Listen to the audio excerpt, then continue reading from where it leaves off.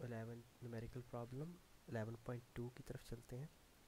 11.2 में कहता है show that the ratio of the root means square speed of molecules of two different gases at certain temperature is equal to square root of the inverse ratio of their masses यानी कि आपने show करना है ratio of root means square speeds के root means square speeds की ratio यानी कि आपने क्या डिटरमाइन करना है? Root means square of molecules of two different gases के अगर हम ये रेशो फाइंड करते हैं वी वन और V two root means square of different two different gases तो ये रेशो जो सी है, किसके इक्वल आती है? कहता है of molecule of two different gases at certain temperature यानी कि टी वन और टी टू दोनों क्या हो? सेम हो.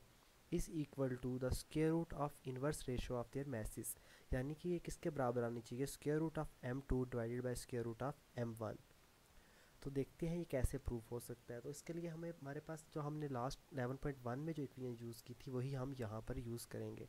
यानी कि T is equal to two by three के हाफ़ एम वी स्केयर या काइनेटिक एनर्जी तो अगर हम दो सर्टेन टेम्परेचर लेते हैं कि first gas is at T one जो कि किसके बराबर है? टू बाई थ्री के और ब्रैकेट में, यानी कि आपके पास मीन में half M one V one square और इस तरह सेकेंड गैस किसमें है? यानी कि टी टू टेम्परेचर भी क्या है? टू बाई थ्री के half M two V two square क्योंकि टी वन और टी टू दोनों किसमें है? सेम टेम्परेचर पे है। लिखा हुआ है एट आ सर्टेन टेम्परेचर इसका मतलब है टी वन टी टू दोनों किसके बराबर हैं? टी के तो उनको हम टी लिख सकते हैं।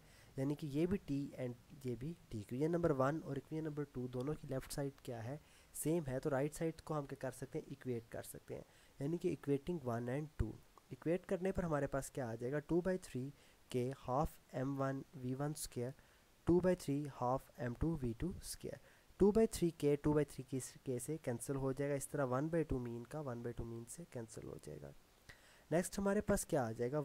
यहाँ से क्योंकि एम वन हम बाहर लिख सकते हैं मीन की ब्रैकेट से तो क्या आ जाएगा? M one V one mean के ऊपर स्केयर और उसके M two V two square अब इनको क्रॉस मल्टीप्लाई कर लेंगे V two V one square divided by V two square is equal to M two divided by M one and last में हम दोनों साइडों पर स्केयर रूट ले लेंगे तो स्केयर रूट से ये स्केयर कैंसिल हो जाएगा, यानी कि वी वन जो मीन है रेशो ऑफ़ मीन यानी कि ratio of V one mean to V two mean is equal to square root of यानी कि inverse of ratio of their masses M two over M one तो ये final result है जो हमने क्या करना था? प्रूफ करना था।